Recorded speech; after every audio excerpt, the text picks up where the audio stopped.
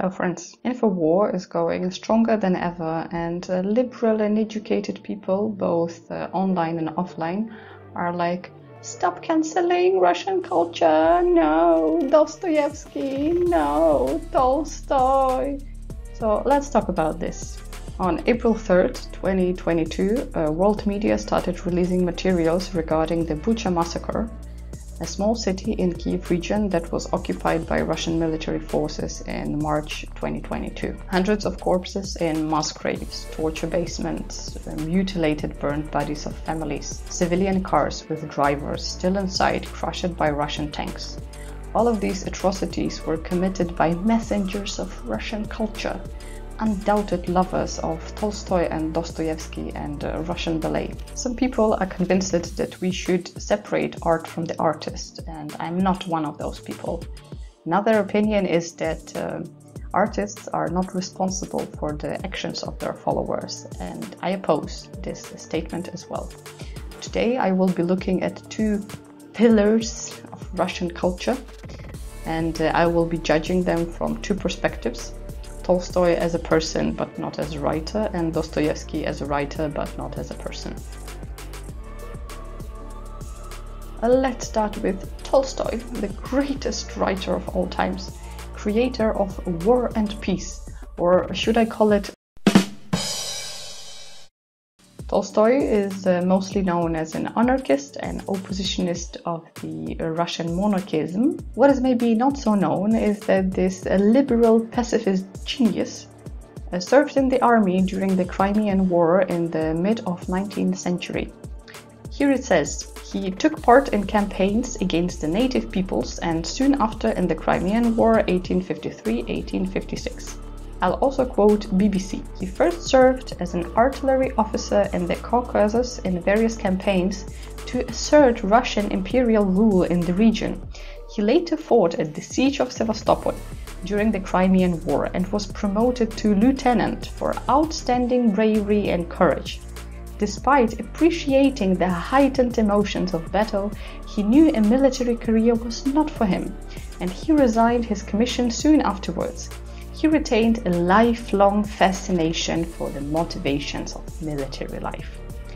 Let that sink in. This majestic pacifist retained a lifelong fascination for motivations of military life after serving in artillery forces. I'll skip the part where he owned serfs, uh, which of one he had a child with, or joined the army because of debts or how toxic, to put it mildly, he was in his marriage. All of that makes an excellent example to follow and a great nominee for Nobel Peace Prize.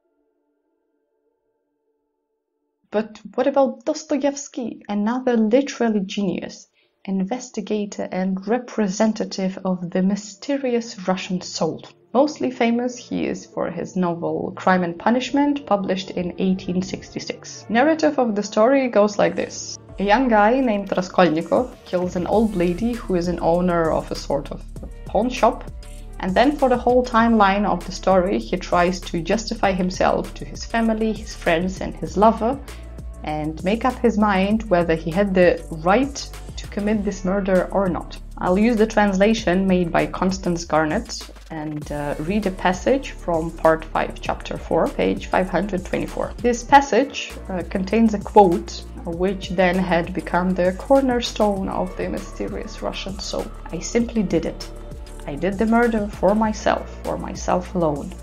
And whether I became a benefactor to others or spent my life like a spider catching men in my web, and sucking the life out of men, I couldn't have cared at that moment. And it was not the money I wanted, Sonia, when I did it. It was not so much the money I wanted, but something else. I know it all now, understand me. Perhaps I should have never committed a murder again. I wanted to find out something else. It was something else led me on. I wanted to find out then and quickly whether I was a louse like everybody else or a man whether I can step over barriers or not, whether I dare stoop to pick up or not, whether I am a trembling creature or whether I have the right. Guess the quote that had become so famous now, let me help you, is this one.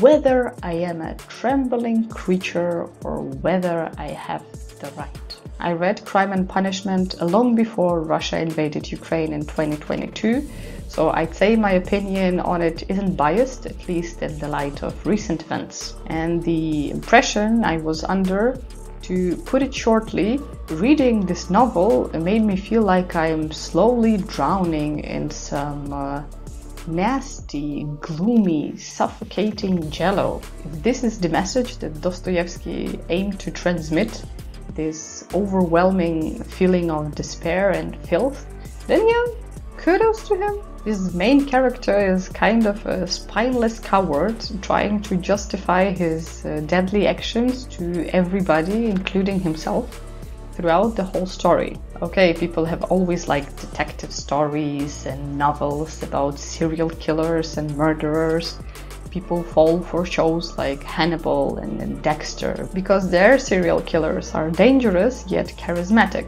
Dostoevsky wrote an entire novel advocating a person who firstly maliciously killed for his benefits and after that started uh, crouching and creeping like a trembling creature for the whole timeline of the story. Is this the embodiment of the mysterious Russian soul? It is. Yes, it is.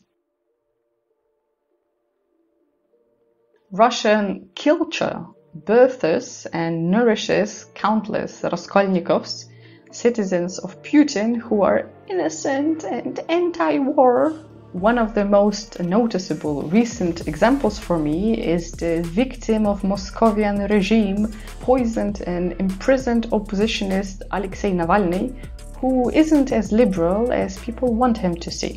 Check this out. Uh, Navalny discussing his opinions on Crimea in 2014 with Alexei Venediktov, editor-in-chief of the so-called independent radio station Echo Moskvы. Если вы станете президентом, вы попробуете вернуть Крым Украине? Крым – это что, бутерброд с колбасой, чтобы вот туда-сюда возвращать? Что да. Оказалось, что да. Вот я не считаю. Украинцам я сильно советую не обманывать тоже себя. Он останется частью России и больше никогда в обозримом будущем не станет частью Украины. If this is the open statement of a martyr of Putin's regime, do you really think that there is somebody in this neo-fascist empire who would mind if uh, Crimean annexation ended? In my previous video, I used the statistics that show that 71% of those swamp creatures support Putin as their leader.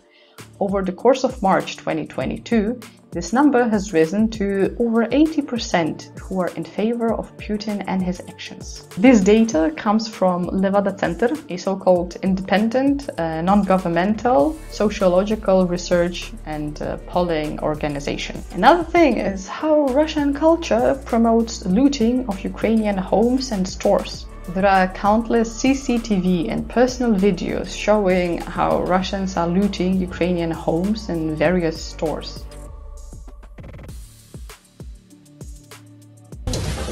Как укропы живут, блядь. Ну, пылочка, блядь. Пидорасы ебаные.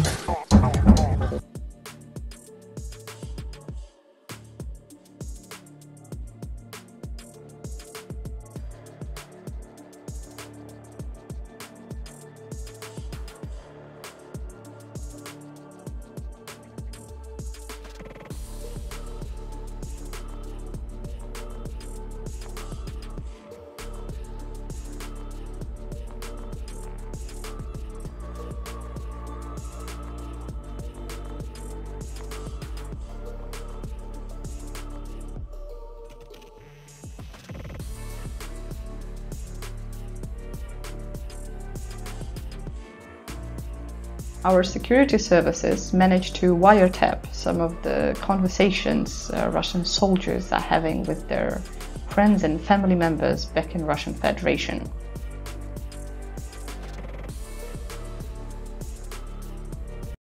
Часы себе за 40 тысяч нашел.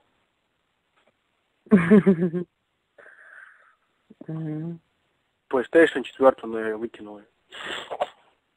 Я сколько? 80 тысяч гривен у меня есть. По-нашему это 240 тысяч чем-то, короче. Нифига себе. Ты что, у кого тут вообще по миллионам? В смысле? Кто-то приедет Мгм. домой, ипо- ипотеку закроет, говорит. Надо тоже нормально денег поискать.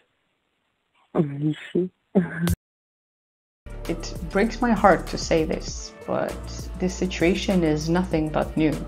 This is the way that Russians fight in a war, any war, by terrorizing, kidnapping, torturing, raping, murdering, burning everything to the ground. They have broken each and every law of war, not just in Ukraine. I'd like to remind you that Russians were bombing Syrian hospitals, refugee camps, civilian facilities, and their air forces are responsible for deaths of over 20,000 civilians since their invasion of Syria in 2015. When Syrian air forces dropped sarin bombs on Khan Shaykhun in 2017, Russian authorities did what they could do best. They stated, "It's not us. Syrian government aimed to hit a warehouse with ammunition and after all it was all staged." Mysterious Russian soul is nothing more than a pile of imperialistic shit they are all full of.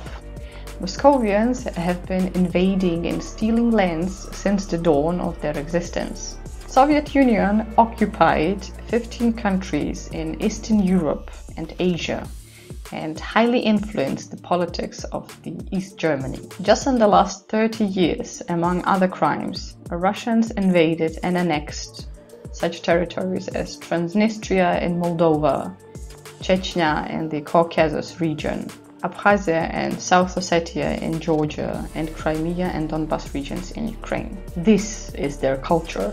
This is their contribution to world heritage. Terror, forced deportations, war crimes, mass murders, and statements that go like, it's not us, they are killing themselves. We are just the peacemakers and liberators. Look at their liberation. Look at the peace they induced on over 11 millions of Ukrainians, 7 million of which had to flee inside the country from the east to the more peaceful west, and over 4 million people became refugees in other countries. I have a dream. A dream where each and every Russian expat and lover of Russian country is deported back to their beloved Russian Nazi Federation and each and every Russian citizen is prohibited to cross any border of any country across the globe so they can choke down on Dostoevsky and Tolstoy until the end of times. Amen.